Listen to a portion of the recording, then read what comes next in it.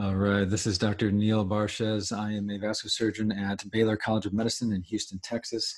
I'm going to spend a few minutes talking about needles and also somewhat about suture material, needles and suture material as relevant to vascular surgery cases. I think that this is important and it's important to know the details because, first of all, there's many cases where we're rifling off uh, upwards of a few dozen needles and sutures. Uh, so if you are striving for mastery, then you should know needles and sutures. You should be able to select uh, needles and sutures like Serena Williams knows her tennis rackets, like uh, Tiger Woods knows his golf clubs, like uh, like Gordon Ramsay knows his uh, cookware. You you really should know everything that you're you're using and choose it to, to optimize your likelihood of uh, success in any given situation. Uh, so first of all, here starting with our workhorse, this is a 5-0 Prolene. Uh, I want to point out some of the characteristics of um, information that you get, get from the label, uh, information that is uh, important. You see here at the top 5-0, that is the caliber of the uh, suture itself. Prolene is the material. That's a trade name for polypropylene, and I have no disclosures uh, on this uh, um, uh, video.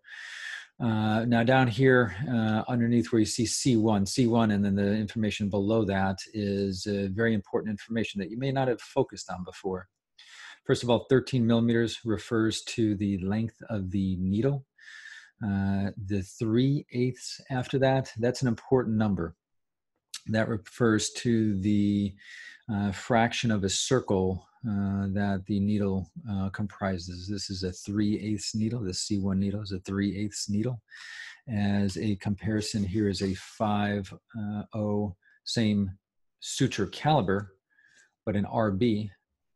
Uh, you can see here it's a one half. You see the number there, one half, and you can see from the drawing that it is half the circumference of the, the needle. Uh, so uh, more of a curve.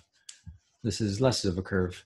Still has curve to it, but in some ways, more or less, you can kind of think of it as a little straighter of a, of a needle.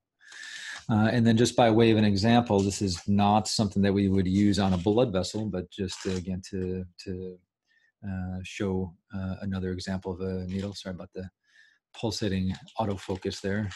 Let me see if I can get this in focus. This is a 5 eighths needle. This is a UR6 needle. You may use this to close fascia uh, for laparoscopy, uh, at least a 2.0 version of that, or some, you know, maybe an O version.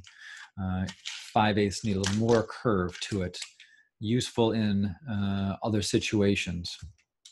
Uh, our needles for vascular surgery uh, are typically the 3 eighths or 1 half. Um, so, and then the last uh, piece of information underneath here, you can see where it says in uh, text taper point, and then you see here the illustration of that, that circle with the dot inside, meaning it's a round needle.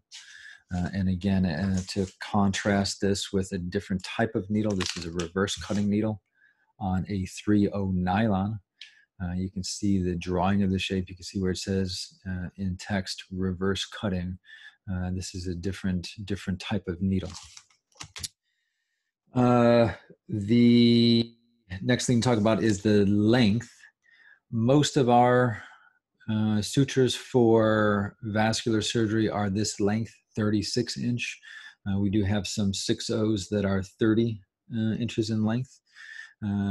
Uh, either one of those lengths are pretty much equivalent, no significant difference uh, for the most part. The one thing that is different is for abdominal cases when we are doing uh, an aortic anastomosis. Uh, there's where we typically want the longer 48 inch uh, suture. Uh, so that's one other uh, piece of information to get. pretty much all of these Prolene, Prolene comes as a double arm needle. Uh, that I don't think that that is labeled on the package, but I think you could see that from the packaging. Whereas there, here's one needle here, this one has two, and I guess the drawing demonstrates two needles versus one in this drawing here. Uh, so you can you can tell from that. Uh, last thing uh, that is uh, worth talking about. Well, first of all, just the different array of needles the names because uh, typically when you're asking for a needle, you should know the characteristics, but you're asking for it by name. Uh, so again, here, uh, our workhorse, the 50C1 needle. I joke that it stands for C1, use one. Doesn't really, but get some laughs sometimes. Uh, the 40RB, RB needle, the one half curve. Sorry about the autofocus here. One half curve. Uh, this is a smaller needle, a BV needle. This is a BV1. And then there's a, for the 7.0s that we use, we use a needle called a BV175, uh, just a little smaller uh, needle still, but also again with the 3 8 curve.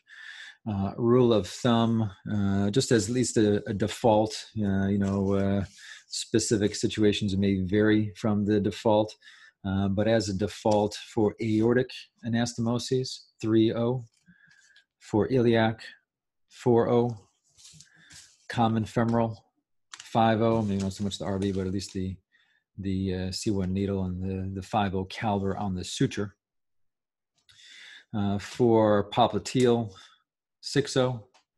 And then for the most part, for tibial vessels, we go with 7.0, tibial and uh, pedal vessels, a 7.0. Uh, I hope you find this information useful. Thanks.